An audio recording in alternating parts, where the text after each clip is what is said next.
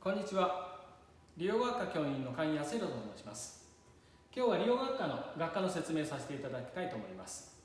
まず最初に利用者さんの説明をさせていただきたいと思います。ここには4つほど書かせていただきました。まず利用者さんなんですがカットやシェービングでお客様をきれいにかっこよくする仕事です。こちらのシェービングというのはお顔を剃ることをシェービングというふうに言います。でそれから2つ目になりますが、えー、利用者さんミリ単位で髪の毛を揃えることができますので非常に高い技術力を持っているのが利用者の特徴です。すっきりとした男らしいヘアスタイル。こちらを作るのが利用者非常に得意としています。3つ目になります。利用者のシェービング技術という独特な技術を行うことができます。このシェービング技術というのはお客様の不要な髪の毛それから産毛そういうものを剃って抜けるということですけど、えー、ヘアスタイルを作る時にヘアスタイルとともにお顔をきれいにする。顔とヘアスタイル。トータルできるようにきれいにできるのが利用者の特徴だというふうに思っていただけたらと思います。それから4つ目ですが繊細な指使いで優れたリラクゼーション技術とでもあります。こちらは先ほど申しましたシェービング技術ですね。非常に微妙な繊細な力加減が必要なんですがその力加減を使ってお客様にリラクゼーションを非常に優れた技術者でもあります。そういう利用者さんを養成してやるのが利用学科の学科ということになります。それでは利用学科ではどういうことが身につくかというのを5つに分けらせていただきました。まず1つ目ですが基礎的技術力。2つ目が応用技術力。3つ目がリラクゼーション技術力。それからデザイン力。ヒューマンスキル。人間力ですね。この5つです。まず最初の基礎的技術力。これは利用者さんになるための非常に一番基礎となる技術力を身につける授業ということになります。この内容はほぼ国家試験に必要な内容となるのですが我が校の国家試験の合格率全国に比べて非常に高い合格率を誇っています。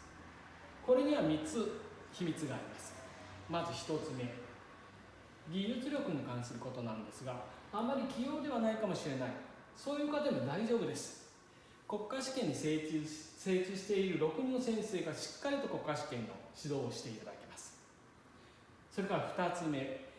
勉強があんまり得意ではないんです。そういう方でも大丈夫です。教科書以外にオリジナルの参考書を作っています。こちらの方でしっかりと筆記試験を、えー、勉強ができるような体制をとっております。それから3つ目ですがこちらの方はオープンキャンパス内でいつもお話しさせていただいております。非常にえそんなことがあったのかというような内容になりますのでこちらはぜひオープンキャンパスに参加して聞いてみていただけたらと思います。それから2つ目になります。応用技術と書いてありますがこちらは基礎的技術のもう一つ高い技術の習得する授業というふうになります、えー、現役のサロンの先生から流行のヘアスタイルを学んだり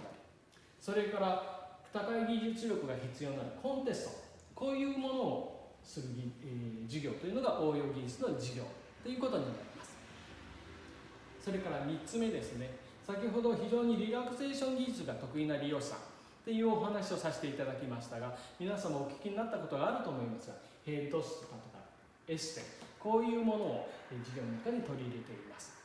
エステの本格的な先生ですね。専門の先生それからヘッドスパの講師。これ全国でも有名な方なんかに来ていただいてこのリラクゼーション技術を学ぶという授業などもしております。